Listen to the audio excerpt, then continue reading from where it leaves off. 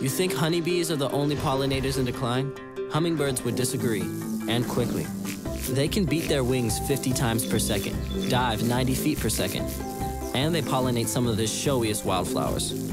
But habitat loss and insecticides are threatening this pollinator. And without pollinators, a third of the world's food supply will disappear. Want to protect the hummingbird and the foods you love?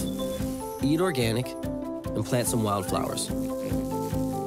Let's put the world in a better state to pollinate.